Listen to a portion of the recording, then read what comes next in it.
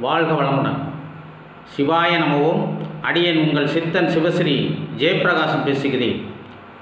ஒரு தெய்வத்தை மந்திரம் சொல்லி வழிபாடு செய்யும் முறை நம்மளுடைய பாரம்பரியத்தில் இருக்கிறது.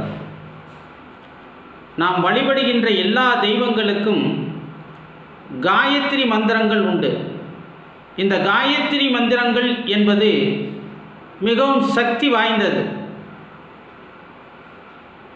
இந்த தெய்வங்களைப் போல நம்மளுடைய பரம்பரையில் வாழ்ந்து மறைந்த முன்னோர்களுக்கு அதாவது பித்திருக்களுக்கு காயத்ரி மந்திரம் இருக்கிறதா? அந்த பித்திருக்களை காயத்ரி மந்திரம் சொல்லி எப்படி வழிபாடு செய்வது? அதனால் கிடைக்கக்கூடிய பலன்கள் என்ன? அப்படிங்கிறத பற்றி தான் இந்த வீடியோ.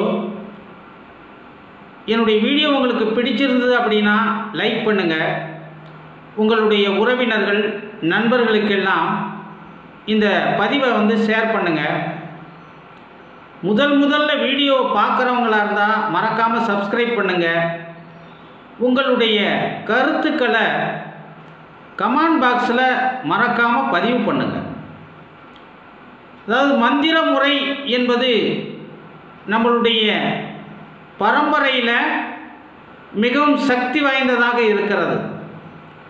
ஒரு தெய்வத்தை அந்த தெய்வத்தினுடைய காயத்ரி மந்திரத்தை சொல்லி உபாசனை செய்யும் பொழுது அதாவது நூற்றி எட்டு ஆயிரத்தி எட்டு பத்தாயிரத்தி எட்டு ஒரு லட்சத்தி எட்டு இப்படி அந்த மந்திரங்களை சொல்லி அந்த தெய்வத்தை நாம் முறையாக வழிபாடு செய்து அந்த உரு அந்த மந்திர உரு ஏற்றினால் அந்த தெய்வம் நமக்கு சித்தியாகி நமக்கு எல்லா நேரங்களிலும் எல்லா இடங்களிலும் நமக்கு வழிகாட்டியாக இருக்கும். நம்மிடம் வந்து அந்த தெய்வம் நேரடியாக பேசும்.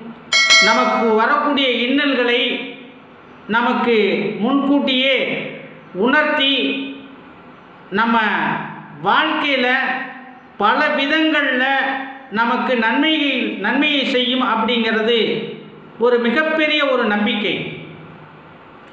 அப்படி இருக்கும் பொழுது தெய்வங்களுக்கு நாம் சொல்லக்கூடிய மந்திரங்களில் இந்த காயத்ரி மந்திரம் அப்படிங்கிறது மிகவும் சிறப்பு வாய்ந்தது.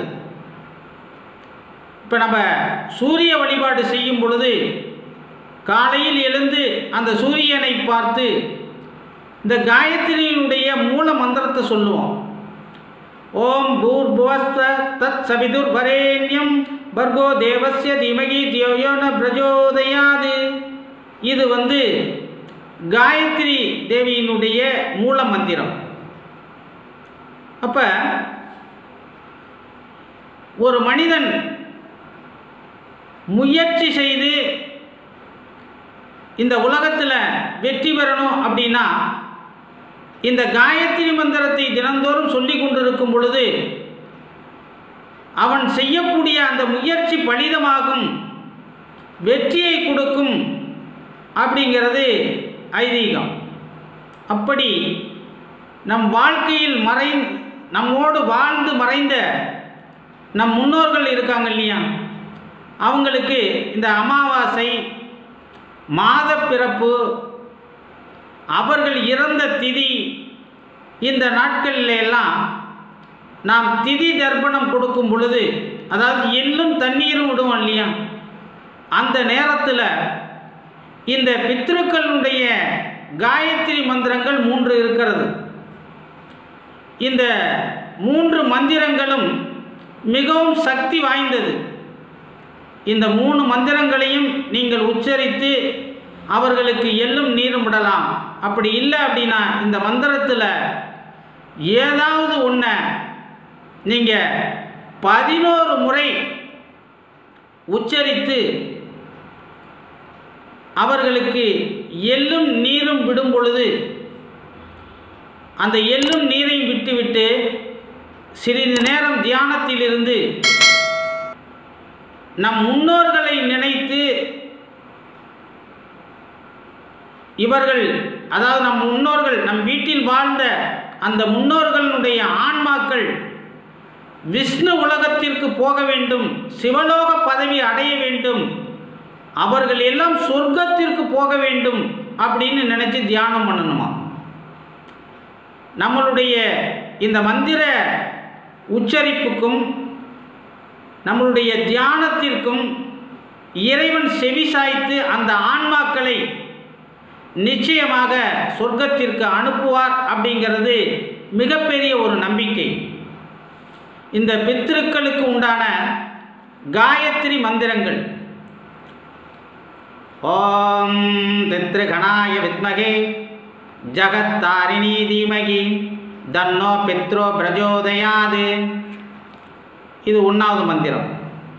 இரண்டாவது மந்திரம்.